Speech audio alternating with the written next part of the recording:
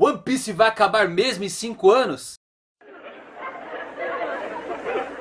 Essa notícia bombardeou sites de notícia, canais famosos, até o próprio David Jones fez esta notícia viralizar aí que One Piece estaria próximo de seu fim dentro de 5 anos. Oda queria terminar. Naquela entrevista que ele deu ao grupo Fisher, que aliás falta eu fazer ainda um vídeo de uma pergunta muito importante que foi respondida pelo Oda, mas isso fica para outro momento.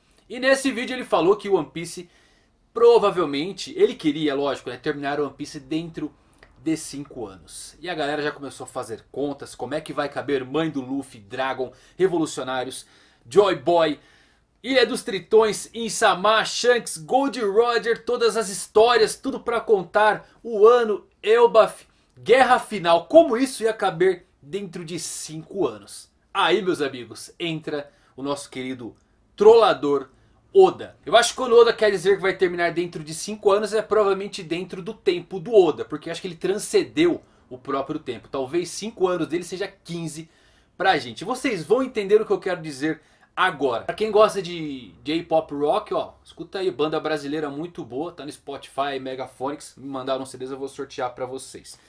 Bom, vamos lá galera, vamos ler essa notícia magnífica aqui.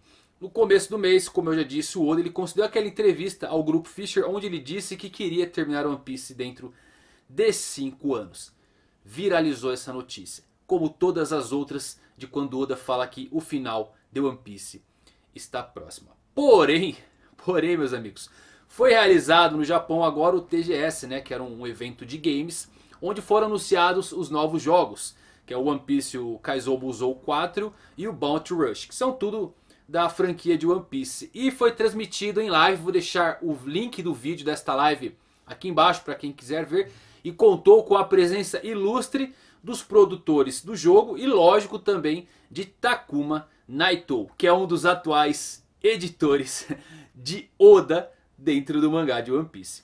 Então Naito é o atual editor da mídia e também editor do mangá até o primeiro semestre deste ano. Então em determinado momento desta entrevista, desse evento, Naito foi questionado sobre o que representa o arco do país de Wano no mangá de One Piece. E ele inicia então falando que o arco de Wano, do país de Wano, é uma parte essencial e indispensável para os eventos de One Piece. E ele disse que agora estão chegando no ponto principal da trama, no núcleo da trama. Como eu interpreto isso? Não quer dizer que está no meio da obra, mas no núcleo da trama quer dizer que vai ter muita coisa importante revelada no arco de Wano. Que já está fantástico, está com desenvolvimento animal e ele solta mais isso ainda. Aí na sequência ele é questionado né, sobre o que o Oda disse de terminar a obra dentro de 5 anos. E aí ele deu risada, ele falou, mas por que todo mundo acreditou nisso? Em 5 anos é impossível Oda terminar One Piece. Eles não querem arrastar a história, ele deixa bem claro isso. A história não vai ser prolongada e arrastada. Mas a história a partir desse ponto vai se aprofundar mais e mais. Ainda tem muitas coisas a se fazer. Palavras do próprio Naito. Então, se vocês acreditaram no que o Oda disse, ele trollou vocês como todas as outras vezes. Quem é novo no mundo de One Piece tem que se acostumar ainda. Se você caiu nesse bait do Oda, desconsidere. No meu vídeo que eu citei alguma coisa, eu falei que pra mim era impossível também. Como escritor amador, eu gosto de escrever, escrevo contos, estou terminando um livro meu. Pra mim, num contexto geral da obra, a não ser que ele estragasse todo o seu trabalho de 20 anos para caber dentro desses 5 que ele queria. É impossível. Eu prevejo One Piece com pelo, pelo menos 7, 8 anos. Pelo menos. E como eu disse, pode se arrastar por mais 10, por mais 15, não dá pra saber. E aqui as coisas ficam mais legais. O Sauro Raonês, que é um grande contribuidor da comunidade, traduz diversas coisas, ele compilou as entrevistas do Oda desde 97 até 2018. Óbvio que não todas, mas ele compilou várias entrevistas de todas as vezes que o Oda disse que o fim estava próximo, que já estava na metade. Vocês vão se espantar como ele gosta de jogar essas informações e brincar com os fãs. Não dá para considerar nada, inclusive até as coisas que são jogadas, por exemplo, em databooks. Ele pode mudar simplesmente, eu sempre bato na tecla. Sabo em um databook foi confirmado pelo Oda como morto. Então ele pode mudar as coisas a seu bel prazer e brincar com os fãs. Vamos lá. Primeira entrevista, One Piece começa a ser serializado em julho de 1997. Oda planejou terminar a sua obra em 5 anos. Que seria um ano reunindo os 10 companheiros de Luffy, 3 anos de jornada e mais um ano para o episódio final. Então em diversos SBS e entrevistas posteriores o Oda comentou e especificou que esses dados que ele deu lá no começo eram cálculos para um One Piece mais compacto.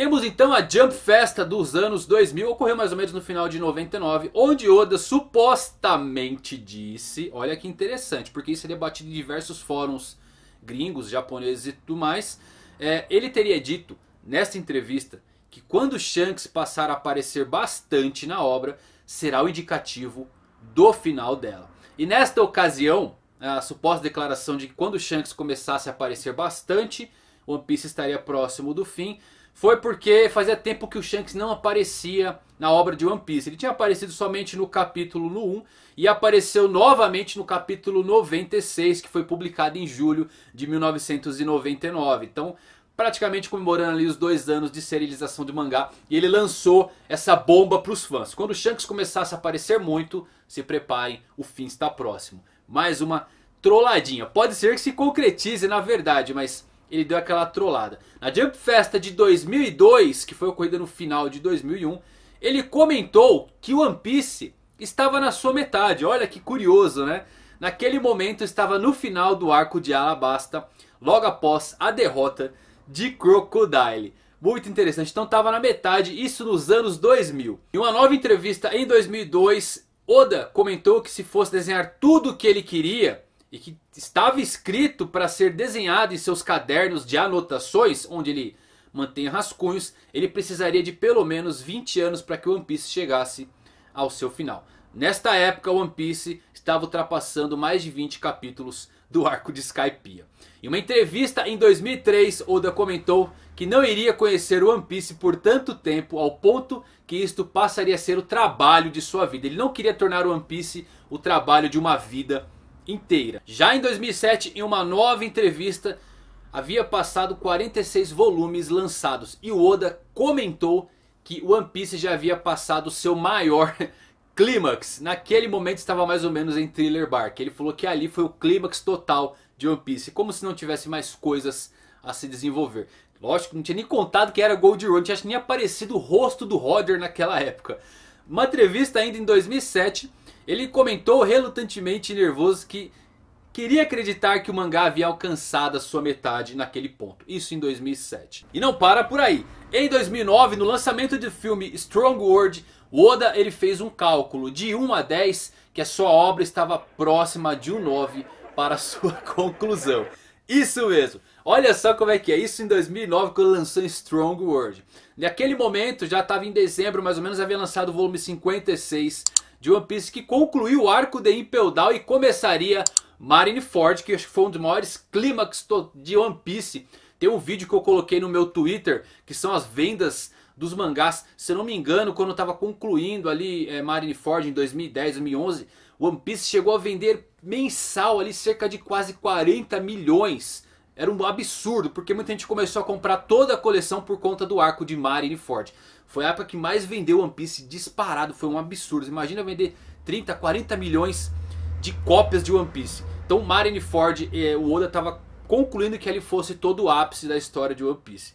Que para nossa sorte não foi. Em 2010 houve um evento onde os dubladores de One Piece participaram e o dublador do Sanji foi questionado se ele sabia aonde a obra se encontrava naquele ponto. E ele disse que conversando com Oda, o Oda disse que a obra estava chegando mais ou menos à sua metade. E que precisaria de pelo menos mais uns 10 anos para conseguir concluir a sua, a sua obra. Isso em 2010. E o Oda ainda confirmou isso em 2010 ainda em uma entrevista que ele disse que a sua obra estava na metade. Naquele momento estava passando o, aquele, aquele flashback da infância de Luffy lá no Terminal Cinza que foi após o arco de Marineford. Em 2014, num site chinês, essa entrevista eu lembro muito bem de ter lido. O Oda ele comenta, mais uma vez, que não esperava que o seu mangá estendesse tanto aquele ponto. É mesmo, Oda, você é bom mesmo, hein? Ele diz que novos personagens surgem na sua mente e inspirações infinitas aparecem.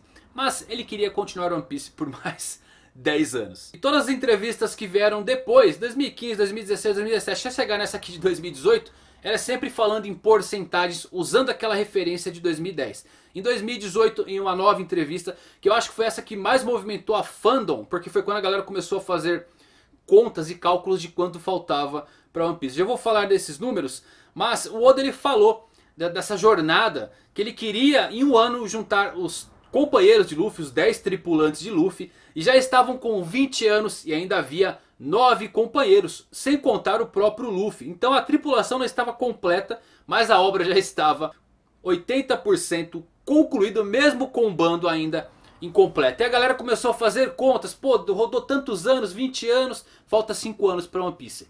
Isso em 2018, 2019, a mesma coisa, 5 anos para terminar One Piece. Minhas sinceras opiniões, devido a essa entrevista onde Oda disse que a série estava na metade, colocaram uma porcentagem de 50. Em cada entrevista, as pessoas relembram o Oda de uma velha porcentagem. Olha, ano passado você disse 60, ele ah, então está 70, 80. Oda não tem planos de terminar One Piece. Não existe um tempo certo, não existe uma data certa para concluir a sua obra. Eu vejo pelo menos mais 7, 8 anos, talvez 10, quem sabe 15. Pode acontecer.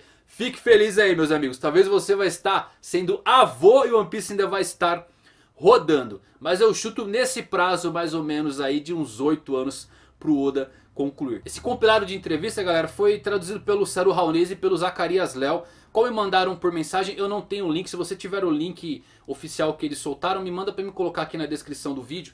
Mas é muito interessante ver que em todas as entrevistas Oda sempre é questionado isso. E sempre relembra uma velha porcentagem e ele coloca uma nova. Talvez daqui dois anos vão perguntar para ele quanto tempo falta para acabar o One Piece. Ele, ah, não sei, talvez cinco anos. O ano está se desenvolvendo de uma forma tão interessante. É o arco mais importante de One Piece por ser o seu núcleo. O que isso representa? Como isso vai moldar o futuro de One Piece? O que vai sair deste ponto aqui? Então é isso, One Piece não termina de forma alguma em 5 anos, não tem como galera, não tem como. Então o Oda jogou ali aquela firulinha, muita gente acreditou. Óbvio que tem que ser noticiado tudo que o Oda disse, você tem que colocar na mesa. Agora você acreditar nele é um pouquinho complicado. Ele adora trollar geral. Para você que está chegando agora no mundo de One Piece, se prepare porque você vai ver muito disso ainda até mesmo na série. Ele mesmo já afirmou, se acertarem qualquer coisa da trama com teorias, eu mudo. É isso aí. Esse é o Oda, criador de One Piece. Tá bom, galera? Então, podem ficar felizes aí. Tem muito One Piece ainda. Significa que vocês vão me ver muito por aqui ainda. E é isso aí. Se gostou, like, compartilha com seus amigos aí que estavam tristes que em apenas 5 anos ia terminar. E mais uma vez, valeu por assistir e fiquem ligados. Até os próximos vídeos. Fui.